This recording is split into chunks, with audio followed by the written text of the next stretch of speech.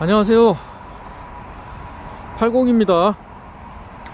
아, 오늘은 옥천에 환산을 왔습니다. 환산 또는 고리산이라고 하, 더라고요.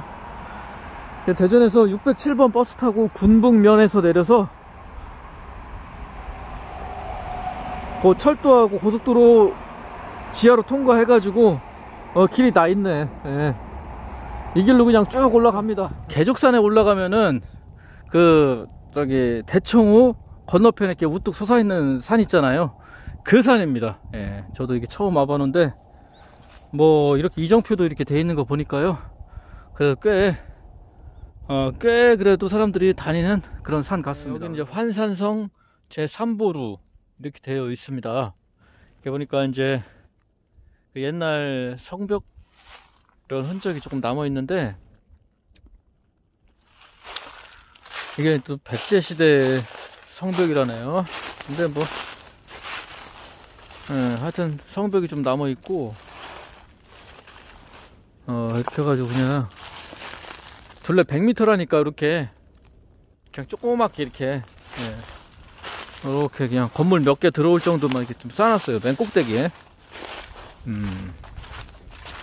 그리고 여기를 내가 읽어보니까 그러니까 백제 시대에는 이렇게 쬐끄마한 환산 성보루였고 음, 그리고 조선 시대 때는 봉수대가 있었다 아, 그런 얘기입니다. 근데 이제 놀라운 게 이곳에는 봉수 별장 1인, 감관 10인, 봉군 100인이 근무했다. 예. 지금 하여튼 문헌에는 이렇게 나온다 이거예요. 근데 제가 봤을 때 100명, 111명이 근무할 때는 아닌데, 예, 그 정도는 아니고, 예, 그 정도는 아닌 것 같고요. 제가 봤을 때 한 10명 정도인데, 나머지 저 100명은 뭐 마을에나 뭐 이렇게 예비군 비슷한 사람들 아닐까 싶어요. 예. 안 그렇겠습니까? 여기서 어떻게 100명이 뭘, 어, 10명도 사실 솔직히 조금 요 터가 다라고 하면 10명도 어려워요. 예, 제가 봤을 때 한 5명 정도. 아, 그 정도 근무를 하고, 한 대여섯 명 정도가 근무를 하고, 교대로 다 계속 근무를 하고, 여기는. 그리고 여기 한 100명이라고 하는 사람들은 군사만이 그렇게 편제가 된 거지, 제가 봤을 때는 그 예비군식으로 해가지고, 밑에, 산 밑에서 이제, 뭐 농사나 뭐 이런 거 하다가, 어, 유사시는 어, 저, 군대로 착출되는 그런 시스템 아닐까 싶어요. 예, 제가 생각할 때. 음.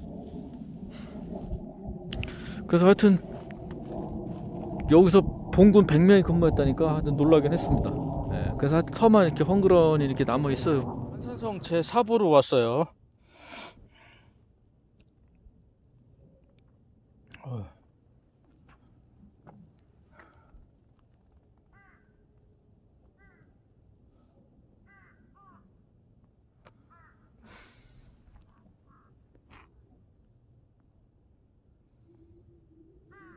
아, 대청댐 예쁘네, 진짜. 저게 정상인 것 같죠? 아, 여기서 이제 제일 높은 게 저거니까. 오늘은 옥천의 자랑 환산에 왔어요. 고리산이라고 하기도 하고, 그 여기는 이제 백제시대 환산성이 있었던 그 자리라고 합니다. 뭐 여기 쭉 내려가면 부소담악이라고 하는 옥천에서 아주 유명한 그런 예쁜 그 명소가 있거든요. 예, 호수에 이렇게 돼 있는 거. 거기 내려가서 그거 보고. 음, 제가 1코스로 왔어요. 어, 200부터 정상까지. 그러니까 그 군북에서부터 왔지 저는. 2코스 증약에서 정상. 아, 증약에서 올 거 그랬네. 하나. 저는 추수로 내려가야 되는데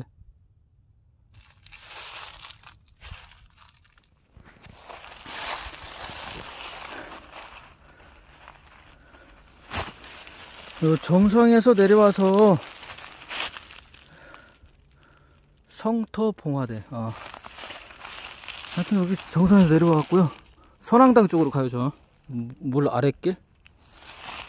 네, 선앙당 쪽이 아마 그 추소 그쪽인 것 같으니까 선앙당 쪽으로 갑니다.